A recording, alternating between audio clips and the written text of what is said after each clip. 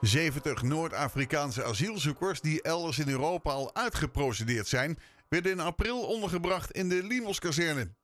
Een deel van hen zorgde diezelfde maandag voor een piek in meldingen van diefstal en zakkenrollerij, net zoals zij daarvoor elders deden.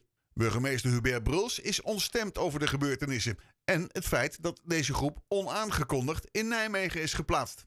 Krom is natuurlijk dat een aantal van die mensen alweer naar een ander AZC worden verplaatst. En daar kan het hele traject weer van voren af aan uh, beginnen.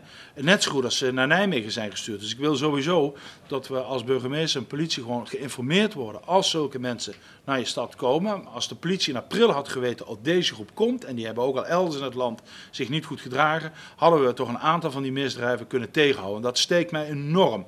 Dat uh, we iets hadden kunnen voorkomen, om, puur omdat ik niet geïnformeerd ben, het dus niet heb kunnen doen. Dat, dat, tast alles aan waar ik voor sta en dit had dus niet hoeven gebeuren op die manier. Nou, wat we geconstateerd hebben, uh, dat er sinds april ja, veel meer zakkenrollerij en winkeldiefstallen in het centrum van onze stad zijn.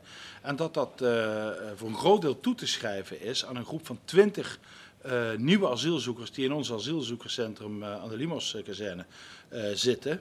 Ze komen uit, allemaal zonder uitzondering Noord-Afrika, verspreid over Algerije en Marokko's land van herkomst. Die hebben ergens in Europa asiel aangevraagd, maar zijn vervolgens doorgereisd naar Nederland. Dat zijn mensen die eigenlijk kansloos zijn om hier asiel te krijgen. Uh, van die uh, twintig uh, zijn er een drietal het land uitgezet, zover ik weet. Twee zitten in, dat heet vreemdelijke detentie, dus die zitten opgesloten bij de politie.